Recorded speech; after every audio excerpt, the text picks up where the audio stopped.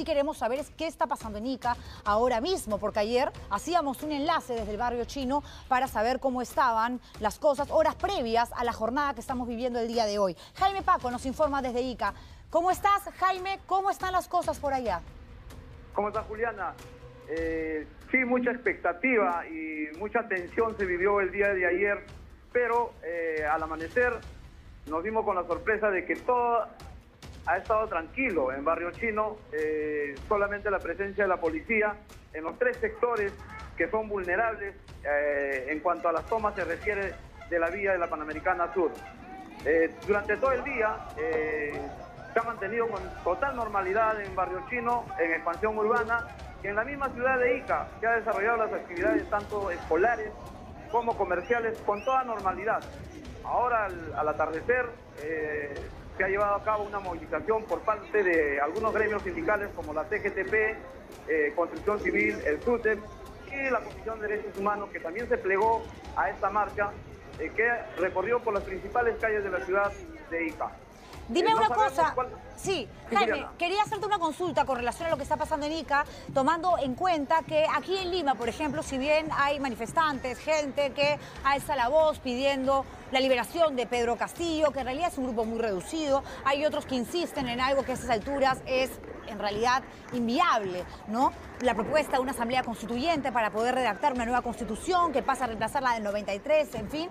Eh, la mayoría, el clamor ciudadano, eh, digamos, coincide en lo mismo, nuevas elecciones, no estamos de acuerdo con este Congreso, no queremos más a este gobierno. En ICA, las voces que se alzan, ¿qué es lo que piden básicamente?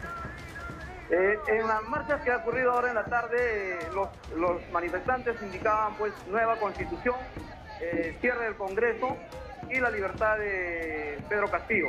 Eso básicamente es lo que han estado arengando en, toda en todo el recorrido de su manifestación.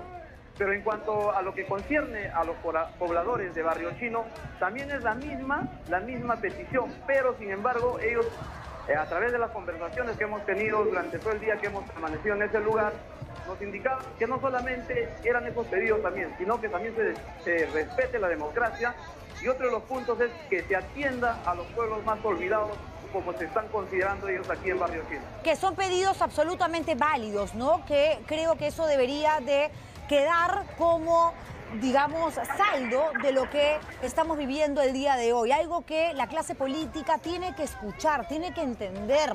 Si en Lima hay un nivel de desaprobación tan alto, si hay tanta molestia, si hay tanta disconformidad con relación al proceder, al actuar de nuestros congresistas, de nuestros ministros, de la propia presidenta, imagínense ustedes en provincia, cuando todo prácticamente está canalizado en la capital, cuando muchos piensan que Lima es el Perú y Lima no es el Perú hay que escuchar a aquellas personas que con más razón incluso salen a reclamar sus derechos porque ellos viven y conviven con la ausencia de Estado. Y eso es todavía más triste y todavía más penoso y eso justifica todavía más el hecho de que las personas salgan a la calle a exigir que se les brinde educación de calidad, que se les brinde salud, que se les brinde algún tipo de posibilidad de diálogo frente al pliego de reclamos que tienen desde hace tantos años porque viven prácticamente en el olvido. Muchísimas gracias por esta información, Jaime.